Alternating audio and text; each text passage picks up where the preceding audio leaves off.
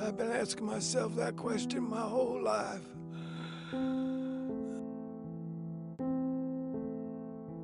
When I told my grandson about what happened that night, he said you could help me. This is me. When I was your age,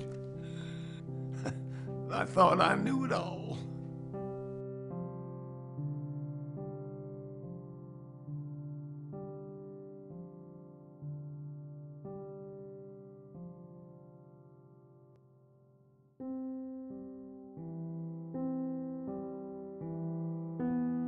Well, if you don't know regret, then my grandson was wrong.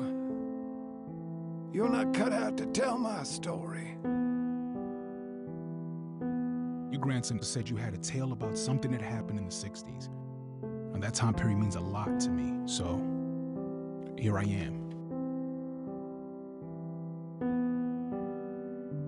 We are not going to stop in a word until America becomes America for all people and no longer challenge a man's right to live simply because he is asking for the rights which the Constitution says are his.